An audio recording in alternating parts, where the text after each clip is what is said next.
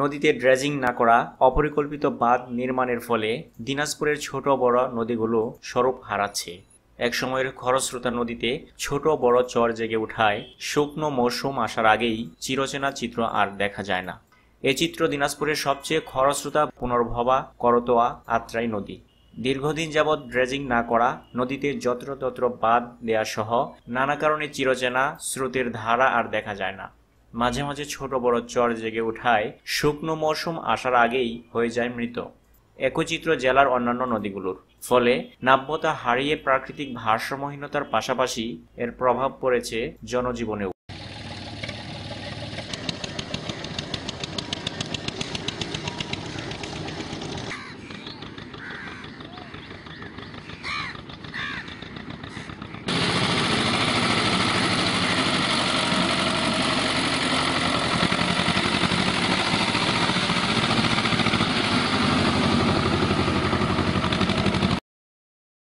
নদীতে যদি পানি না থাকে, কারণ সেচ ব্যবস্থার খুব সমস্যায়। এই পানির অভাবে আমরা জমি চাষ করতে পার- না। এবং এই নদীতে যদি সারা বছর পানি থাকার ব্যবস্থা করা যেত, তাহলে মনে হয় আমাদের আবাদে জমিতে আবাদ করার সুবিধা হইতো। আর সেই কারণে আমাদের এই নদীকে খনন করা এবং নদীকে নিষ্কাশন করে সুন্দর পানি ব্যবস্থা করে করার জন্য কর্তৃপক্ষকে আমি অনুরোধ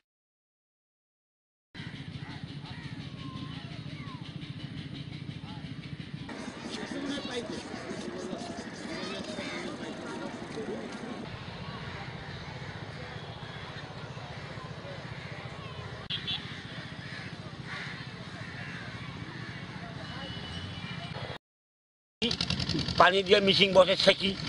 পানি দিয়ে আমরা পাইপ ভরে আর সেকি ভুঁই বাড়ি আবাদ করি। এখন আমার ডিম মিশিং বসানো লাগে ভুঁই বাড়ি তার পাশে আমরা আবাদ করি। আর পানি নদীতে পানি পাই না নদীতে সেচের পাই না পানি আর আবাদ করতে পারি না। ভর্তি হল সময় এটা নদী বলে কোনো চিহ্ন পাওয়া না। নদী বলি কোনো চিহ্ন পাওয়া না, নদী। সেই অবস্থা হয়ে গেছে। অসুবিধা কি হয়? যে আমাদের অসুবিধা হ্যাঁ এছাড়া কি অসুবিধা মাছের অসুবিধা মাছ নদী থাকে না মাছ না খাবার না।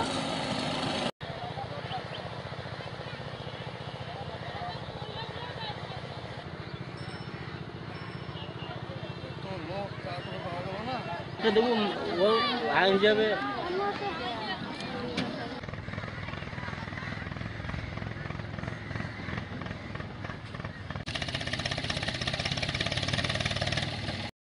এখন পানি নাই পানি থাকে না। বর্ষাকালে কিছু পানি হয় পানি আবার শুকায় যায়। তো এই নদীটা যদি মাঝখানে বারো মাসে পানি থাকে মনে করেন যে নদীর এপারের এপারের লোক হ্যাঁ দুই পারের লোকই আবাদের জন্য সুবিধা কৃষকের জন্য খুব সুবিধা। তারপরে অনেক লোকেরই অনেক সুবিধা পানি থাকাতে। হ্যাঁ গরু ছাগল গোসল করানো গা হাত ধোয়ানো এরকম অনেক সুবিধা হয়। যে নদীতে পানি নেই আমাদের আগে পানি ছিল আমরা মাছ পাইতাম পানি দিয়ে আরও অনেক কিছু করতাম আবাদ করতাম।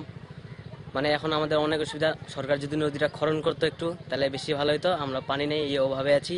পানি জমিতে এখন কিনে দিয়ে দেওয়ার মতন দিচ্ছি। নদীতে যদি এখন পানি দেয়, আমাদের ভালো হবে খনন করলে। এটাই সরকারের কাছে আমরা অনুরোধ করতেছি। পানি উন্নয়ন বোর্ডের তথ্য মতে, দিনাজপুরে বিশটি নদী রয়েছে। নদী সংস্কারের জন্য ইতিমধ্যেই তুলাই এবং পুনর্ভবান নদীর অনুমোদন হয়েছে। এছাড়াও চোদ্দটি খাল খনন ও উন্নয়নের কাজ শুরু হয়েছে। পরবর্তী ধাপে আরও খনন করা হবে। এই খালগুলো খনন হলে দিনাজপুরে জলাবদ্ধতা, সমস্যা নিরসন হবে।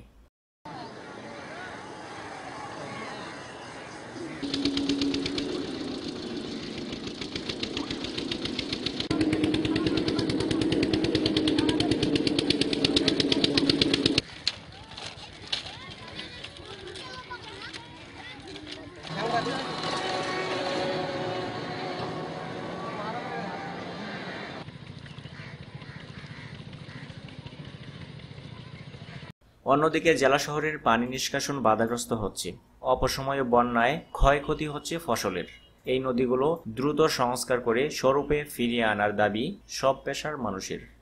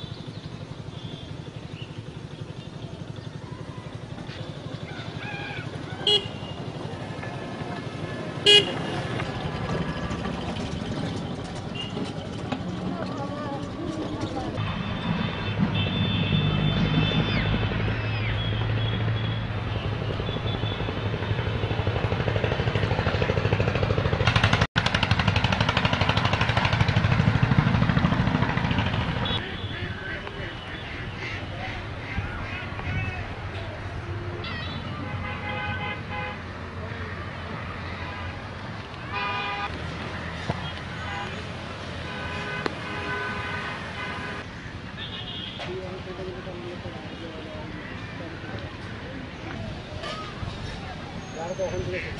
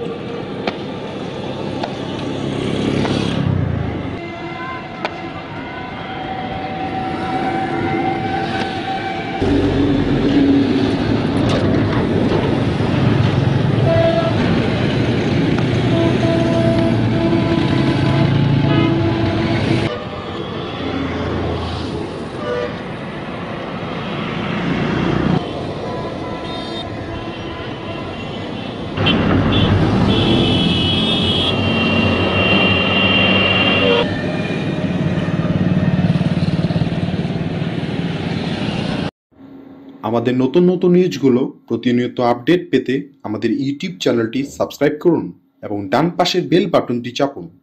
ভালো লেগে থাকলে আপনাদের সোশ্যাল মিডিয়ায় তা শেয়ার করুন। আমাদের সাথে থাকার জন্য ধন্যবাদ।